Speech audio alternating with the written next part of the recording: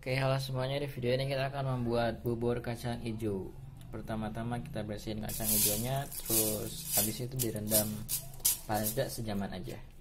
Sip kita tunggu sejam. Dan ini bahan-bahannya ada gula merah, gula putih, ada garam, ada jahe dan santan. Fiber cream pengganti santan. Setelah itu direbus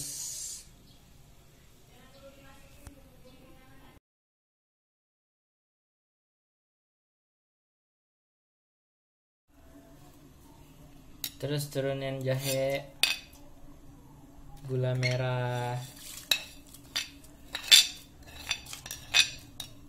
garam.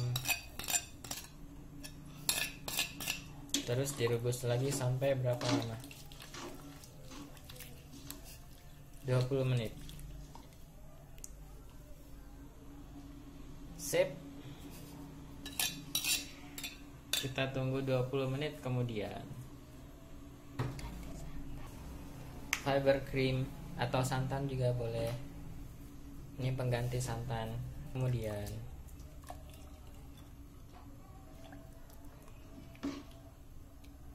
setelah 10 menit kemudian atau sekitar 15 menit kemudian hasilnya seperti ini.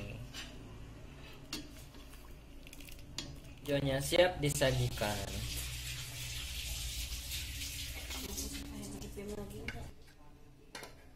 パパパトンアラパイポ